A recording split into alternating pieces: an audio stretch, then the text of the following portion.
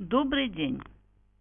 Каламондин или цитрофортунелла. Это цитрусовое деревце. Каламандин, который еще именуется цитрофортунеллой, это цитрусовый гибрид, созданный благодаря скрещиванию кумквата, еще называют фортунелла либо кинкан, с мандарином. Итак, кумкват мандарином. Это растение имеет прямое отношение к семейству рутовых, а родом оно из Юго-Восточной Азии. Также его зачастую именуют золотым апельсином или комнатным мандарином.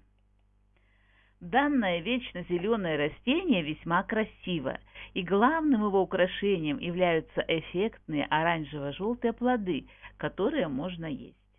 Такое деревце желает вырастить практически каждый цветовод – Каламандин не требователен в уходе и легко размножается черенкованием либо семенами. Он превосходно чувствует себя в зимнее время в квартирах с пониженной влажностью, а также может расти в оранжереях. А еще он способен плодоносить довольно продолжительное время, потому что данное растение является приспособленным к плодоношению в комнатных условиях. В летний период можно вынести на свежий воздух. Итак, в высоту деревце достигает 100 сантиметров, однако оно вполне может вырасти и до 5 метров, но только на своей родине. И еще я добавлю, если ему позволят и не обрежут. Цветение, как правило, начинается в последние весенние недели, либо летом. Цветочки очень схожи с лимонными и представляют собой белоснежные душистые звездочки действительно похожи на лимон. Для того, чтобы быть уверенным, что каламандин даст плоды, нужно провести опыление цветочков вручную при помощи довольно мягкой кисточки. Э, сам процесс э, опыления я подробно описала э, в фильме «Комнатный лимон». Итак, продолжаем. Формирование плодов происходит даже на достаточно низких деревцах, 25 сантиметров. На вкус они горьковато-кислые и очень душистые, а внутри находится большое количество косточек. Плоды при желании можно засахарить. Кстати, кожура у них довольно сладкая. Даже если растение еще находятся плоды, оно может вновь начать цвести. Или начать. Кто постарше мою шутку понял, да? Так как это растение плодоносящее, ему необходим регулярный полив и подкормки. Если началось опадение листвы, то с деревцем что-то не так. Уход за каламандином в домашних условиях. Каламандину очень сложно адаптироваться к новым условиям, и у него начинает опадать листва.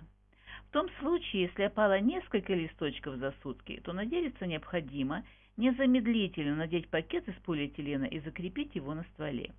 Тем самым вы резко повысите влажность воздуха на 95-100%. Не забывайте каждый день проветривать растения, открывая пакет. Кустику необходимо большое количество света и нужно оградить его от сквозняков.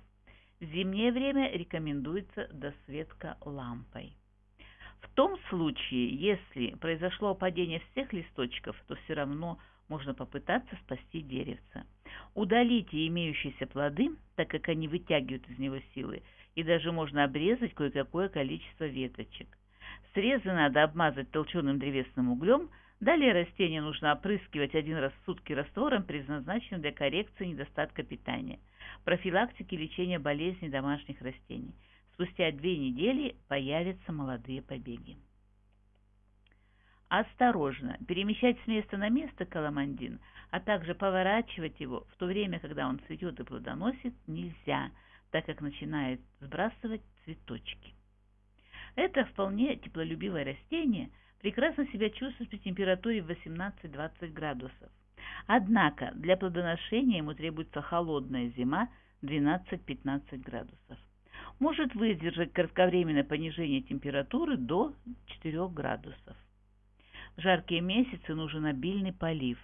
При холодной зимовке поливать надо умеренно. Нуждается в регулярном увлажнении листвы. Для подкормки используется комплексное удобрение для цитрусовых. Для составления подходящей землесмеси надо перемешать перепревший навоз, дерновую землю и песок в соотношении 1, 2, 1. Обрезка обязательно. Формировать крону специалисты советуют в виде деревца с низеньким стволом, около 20 см до разветвления. Ствол следует обрезать секатором, это спровоцирует появление боковых почек. Спустя год надо будет укоротить боковые ветви, и если это нужно, то и нижние. Ветви, на которых образуются завязи, практически не растут и частенько высыхают, поэтому, срывая плод, их нужно обрезать на две либо три листочки. Для пересадки выберите объемный горшок. Даже если деревце небольшое, корни у него довольно объемные и разветвленные. Слишком разрушать земляной ком во время данной процедуры не рекомендуется. Требуется хороший дренажный слой. Проследите за тем, чтобы в новом горшке корневая шейка каламандина оставалась на таком же уровне, что была в старом. Пересаженное растение не следует подкармливать один месяц, так как в почве в это время достаточно питательных веществ. Это растение размножить непросто. Укоренение черенков происходит крайне плохо, а большинство и вовсе погибает.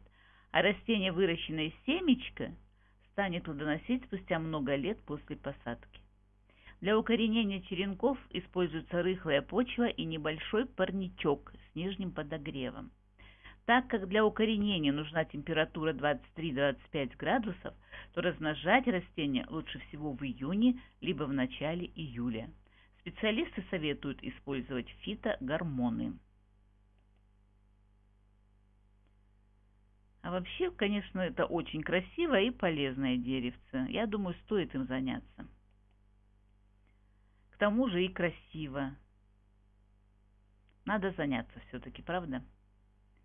Так, дорогие мои, если вам нравятся мои фильмы, подпишитесь, пожалуйста. Для меня это очень важно.